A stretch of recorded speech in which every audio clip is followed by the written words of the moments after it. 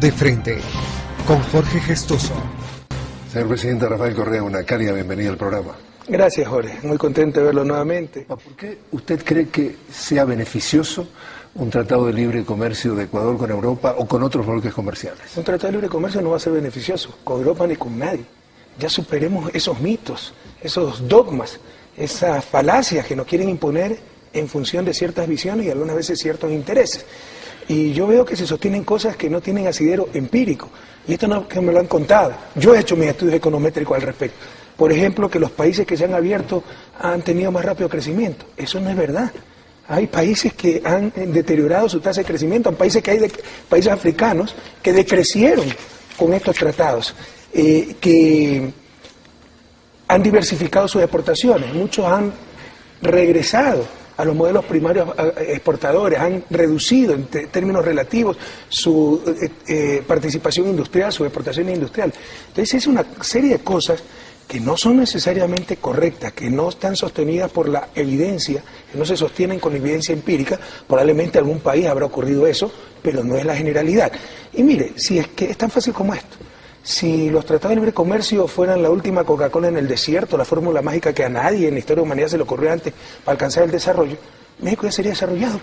Si tiene un tratado de libre comercio con Estados Unidos, el mercado más grande del mundo, y está al lado de Estados Unidos. Y déjeme. vea las tasas de crecimiento de México.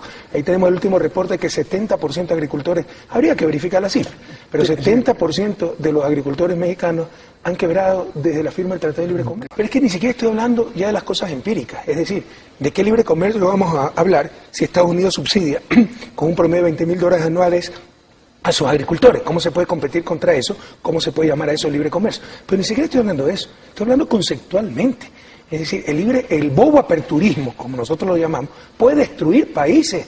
No es que abriendo fronteras, dejando entrar y salir, productos compitiendo, el sálvese quien pueda, los países se desarrollan. Tal vez algunos por ahí, los que están en la frontera tecnológica, los campeones de competitividad, probablemente se desarrollarán. Los otros fracasarán. Y fíjese, nosotros tenemos que hacer lo que hicieron estos países, no ahora, que son los campeones mundiales de competitividad, lo que hicieron cuando estaban en nuestro nivel de desarrollo. Y Estados Unidos fue el iniciador del proteccionismo moderno con Alexander Hamilton, fue el que resistió los intentos librecambistas del imperio dominante en esa época, el imperio inglés. Aprendamos de la historia. Esto que el libre comercio beneficia siempre y a todos es algo más cercano a la religión que a la ciencia y no resiste un análisis teórico, empírico ni histórico. Abramos estos mercados, protejamos esto, dejemos esto en manos del país, protejamos a los pequeños agricultores, con esas especificidades, con esa flexibilidad. Bueno, negociemos acuerdos comerciales, pero no bobo aperturistas. Bueno, ¿cómo solucionan los países esos problemas, esos desequilibrios externos? Con la moneda nacional. Deprecian la moneda nacional, encarecen las importaciones, es decir, consumen menos y abaratan sus exportaciones, es decir, venden y ganan más. Ecuador no tiene eso. Y cuando usted no tiene política monetaria por insensatez de haber abandonado la moneda nacional, solo le queda la política comercial para regular desequilibrios en el sector externo. Y si encima firma estos tratados de libre comercio, ya solo le va a quedar rezar. Como siempre digo, soy creyente, pero no creo en milagros económicos. Cuéntenos en qué consistiría la inserción inteligente de Ecuador. En primer lugar, diversificar los mercados. Teníamos concentrado 60% de nuestro mercado externo en Estados Unidos. Hemos avanzado muchísimo, creo que estamos en 30%. Primer lugar, diversificar los mercados. Segundo lugar, invertir en mejoras en competitividad, productividad, talento humano, ciencia y tecnología, no solo como derecho a la educación, etcétera, sino también, sobre todo como derecho, pero también con sus implicaciones en competitividad, productividad. También lo está haciendo el país. Y en tercer lugar, buscar acuerdos comerciales, derrumbar barreras, comerciales, pero racionalizadamente. Eh, selectivamente, sin este fundamentalismo de, ¿qué es el neoliberalismo expresado en política comercial? Derrumben todo y estamos en el mejor de, los mundos. No, podemos estar en el peor de los mundos. ¿Qué tan importante es China hoy para la vida de Ecuador y para la vida de América Latina? Es importante. Eh, no es lo único importante, pero por ejemplo hasta en eso hemos recibido crítica. Cuando vendíamos 60% de nuestras exportaciones totales, no solo las petroleras, al mercado norteamericano y no recibamos nada a cambio, ahí sí estaba bien.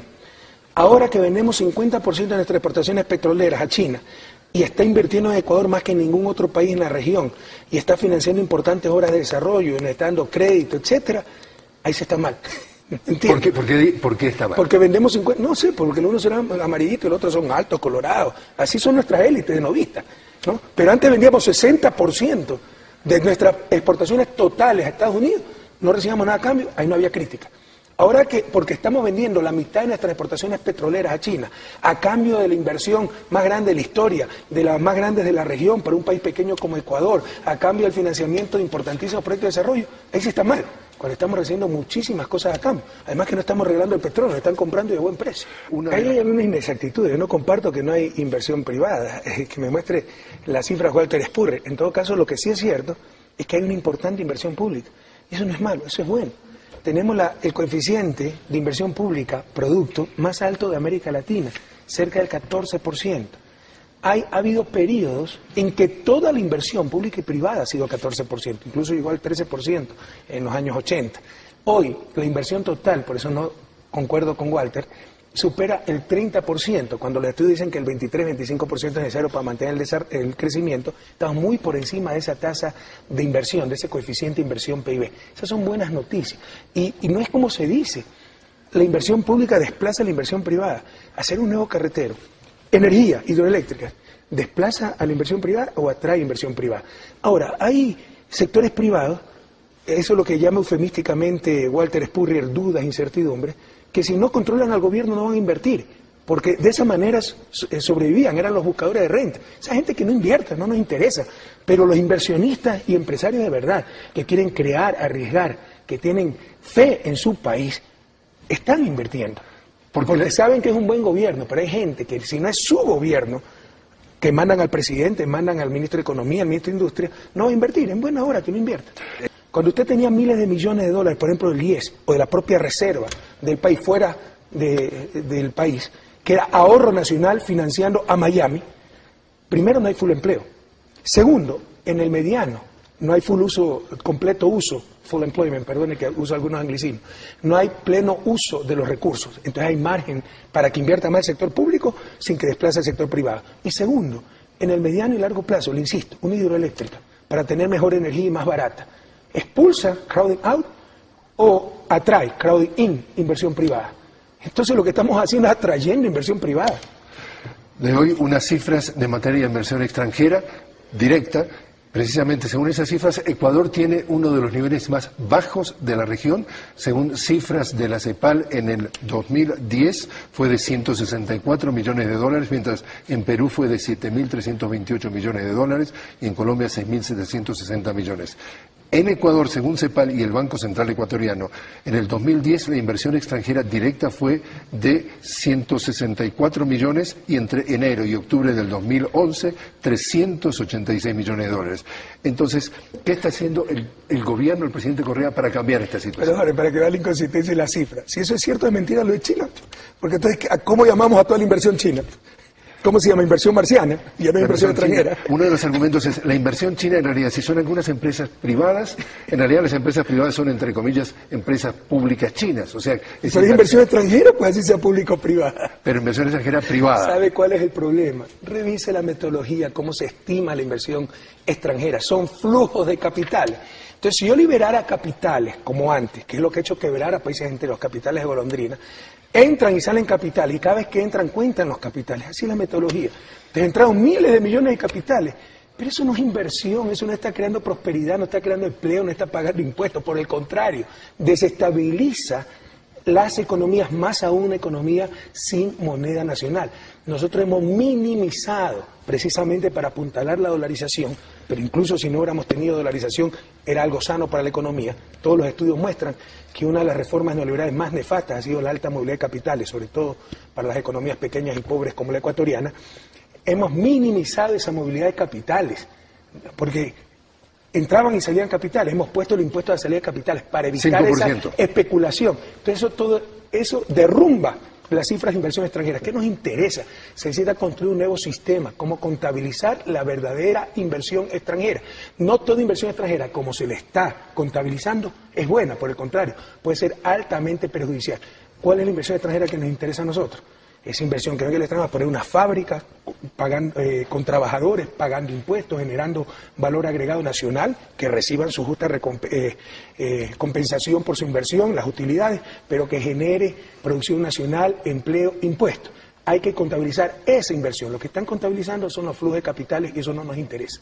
Cuando yo llegué al gobierno, había impuesto 5, 10% a las llamadas telefónicas, ya no lo hay.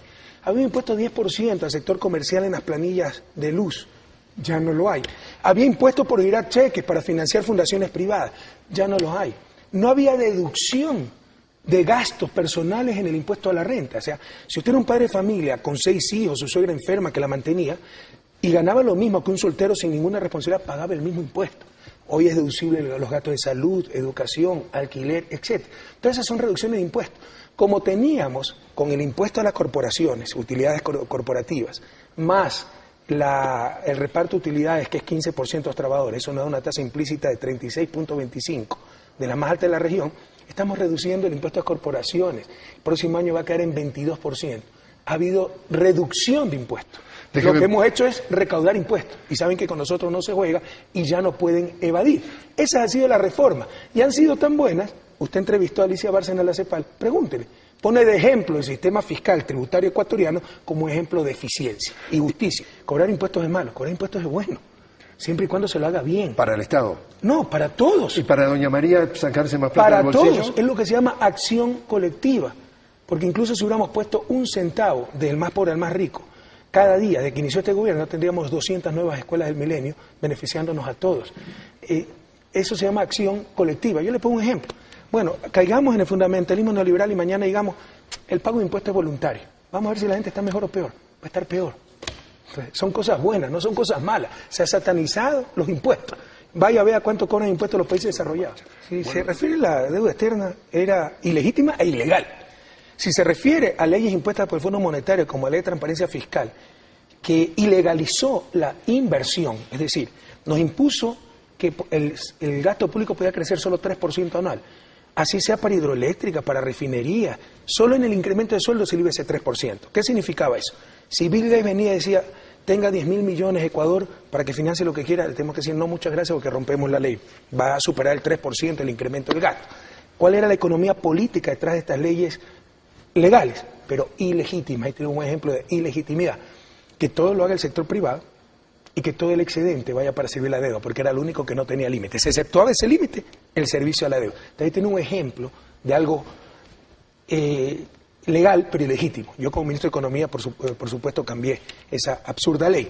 Entonces, esto va a seguir cambiando. Estamos en una revolución en Ecuador, Jorge. Estamos reinstitucionalizando el país, pero le he dado ejemplos de la institucionalidad, entre comillas, que existía, que era parecida, con todo respeto, a lo que está viviendo España.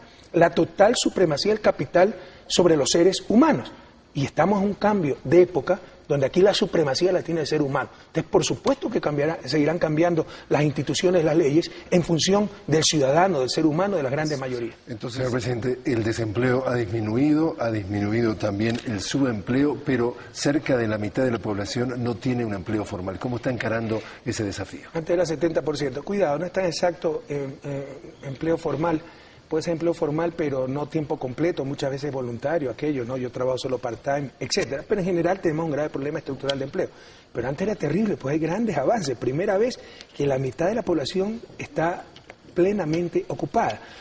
Si usted quiere aumentar empleo, disminuya salario. Nosotros hemos aumentado salario. Hemos mejorado la calidad del empleo. Hemos incrementado la afiliación al Seguro Social un millón de personas, o sea, prácticamente 40% de un millón y medio, dos millones y medio. En nuestro gobierno y hemos, tenemos las tasas más bajas de desempleo de la historia del país y de las más bajas de la región. Y otro punto importante, en el segmento anterior alguien decía, y los países que más que han firmado estos tratados de libre comercio han crecido más. En el caso ecuatoriano, el crecimiento se debe al consumo interno, por la capacidad de compra que tienen las familias, porque ahora el ingreso familiar con el incremento del salario mínimo, etcétera, cubre más del 90% de la canasta básica de consumo de una familia, algo sin precedentes en la historia ecuatoriana. Detrás de toda esta relación de poder, el gran mal, el gran problema civilizatorio del siglo XXI, la raíz de la crisis en Estados Unidos, en Europa, es la supremacía total del capital sobre el ser humano. Eso es lo que vivíamos antes de nuestro gobierno. Esa es la revolución Cambio radical, rápido de las relaciones de poder en función del ser humano y de las grandes mayorías, no de los capitales. Y el ejemplo que usted me da es exactamente aquello. Se hizo todo cuando ya se vio quebrada la banca con sus influencias y sus asambleístas de alquiler, con sus legisladores, con sus canales de televisión y sus medios de comunicación. Cuando llegué al gobierno, los siete canales de televisión, cinco pertenecían a la banca, para crear leyes para que ellos quebraran y pagaran todos los ecuatorianos, el Estado. Y eso fue precisamente lo que sucedió. Esa ley se llamó, eh, no recuerdo el nombre exacto, pero comúnmente se llamó la ley AGD, con eso quebraron, ellos quebraban, todos pagamos y como no alcanzó la plata, congelaron los depósitos de los ciudadanos, rompiendo todas las normas que predicaban, los derechos de propiedad, etcétera, para salvar a los banqueros. ¿Cómo lo salvaron? Además de congelar nuestros depósitos, lo congelaron a 10 mil sucres dólares y los devolvieron a 25 mil sucres dólares. Si usted tenía un millón de sucres, le congelaron 100 dólares y le devolvieron 40 dólares. Se le robaron 60 dólares. Y después de todo esto, llegaron a la brillante conclusión que lo que pasaba era que no sabíamos manejar una moneda nacional y teníamos que adoptar la, moneda gringa. Y nunca se les ocurrió pensar que el problema radicaba en quienes manejaban el país. Unas élites, la supremacía total del capital sobre los seres humanos. Eso es lo que estamos cambiando el día de hoy. Hablando de la revolución ciudadana, la palabra revolución para el capital, ese capital que es cobarde, puede asustar y puede hacer de que no se venga al país porque la revolución me suena me suena como que huele raro. Vea, Jorge, este estadista latinoamericano, como usted me llamó hace un momento, que nunca sabía bien qué significa la palabra estadista. Algunas veces creo que es solo saber de coctelitos, estar bien vestidito, etc. Este estadista latinoamericano no le habla a los cobardes, así que no me interesa lo que piense o deje pensar ese capital.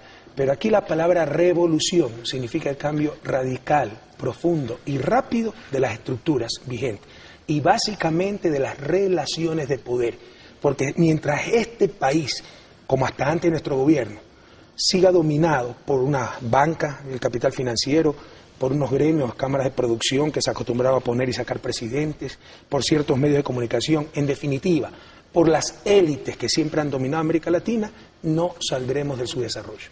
40% tan solo, cuando llegamos al gobierno, de nuestra producción eléctrica era de origen hídrico, energía limpia, renovable. Casi el resto, había un 8 o un 9% que se importaba, eran divisas que se iban fuera del país, el resto era generación térmica, que consume combustible, contamina el medio ambiente, y como no tenemos capacidad de refinación, se importaba ese combustible. Teníamos energía cara, mala, consumía divisas, absurdo.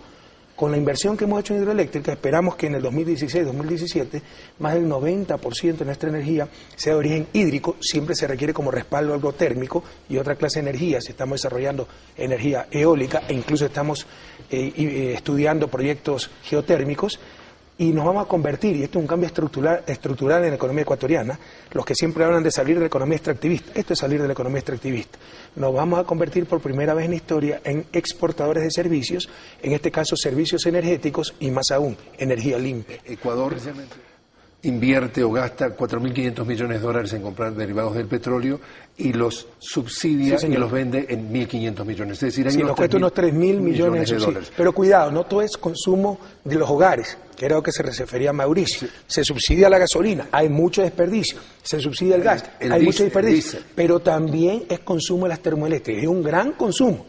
Y con todas las hidroeléctricas vamos a disminuir sensiblemente ese subsidio. Mire la doble moral, ¿no? Hay que ser fuertes con los ciudadanos, con la pobre madre de familia que compra el gas, pero con los capitales cobardes ahí sí hay que darles confianza, ¿no? ahí no hay que ser fuerte. Yo tengo una sola moral, señor. Seré fuerte y consistente en todas mis acciones y entiendo economía.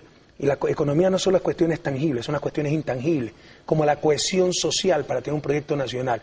Y sacar el subsidio, combustibles, gas, nos fracturaría terriblemente esa cohesión social, que la hemos logrado con mucho esfuerzo, ¿ah? porque usted se imagina los efectos de la congelación el congelamiento de los depósitos en la cohesión social del país. Por no invertir, hoy cuánto gastamos.